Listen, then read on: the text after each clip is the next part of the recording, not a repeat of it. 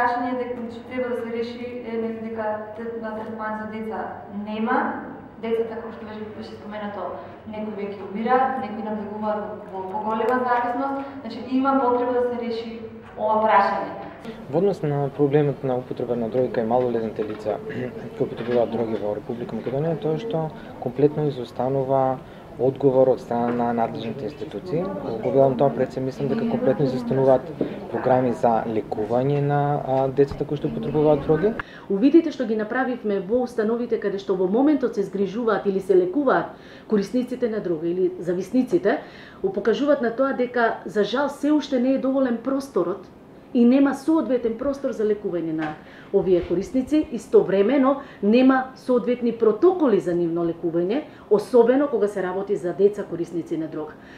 Не само во делот на просторниот капацитет, нема ни доволно човечки ресурси, кадровски ресурси во делот на она рехабилитациона програма би рекла за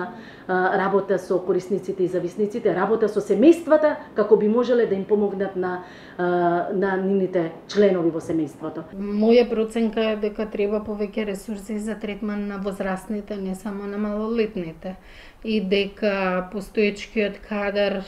сметам дека не е доволен ни да одговори на сегашната побарувачка и дека тоа е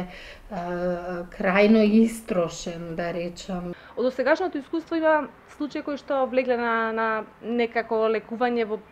детска на клиника за детски болести, значи тоа се спорадични случаи, не се според протокол, не се според медицина на базирана на докази, А за овие деца, и ако се успеало медицински да се да се помогне, односно да се спуштат од од опијатот, да се прочисти организмот, понатаму нема соодветни програми каде што би продолжила рехабилитација и ресоциализација за овие деца. So if it comes with a pediatric uh, situation or pediatric uh, like um, morbidity,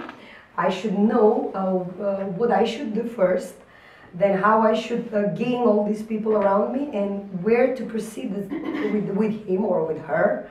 how I can deal with with the family, with the child, what I should do to, you know, to detoxicate. We are asking uh, these, um, you know, things from the adult clinic who is working with the toxicology, but I think that I should make my unit. So in this um, emergency situation, we should know what we should give and not always and contact them on the phone because it might be 2 o'clock in the morning, so you should know what to do immediately. Бидејќи знаеме дека зависноста од дроги може да, да биде живото загрозувачка за децата и неовозможување на соодветен третман и не само третман, туку подоцна и рехабилитација и ресоциализација може да ги изложи на живото загрозувачка а, ситуација. Овој податок е загрижувачки и треба на вистина да се превземат соодветни мерки заради што ние како институција и преку укажувања и преку барања до надлежните органи повеќе пати до министерствата надлежни побаравме сериозен пристап кон надминување на проблемот со корисниците на дрога, особено децата корисници на дрога, создавање на просторни капацитети за сместување на децата, за нивно лекување и соодветна рехабилитација. Понатаму побаравме да се изготват протоколи за третирање на децата кои што, кои што третман се разликува од третманот на возрастните. А, за сега таквите протоколи се уште не се изработени и сето тоа укажува дека а, државата треба сериозно да се а, загрижи и навистина да има еден пристап кој што ќе даде ќе вроди со ефект. Заради тоа што секојдневните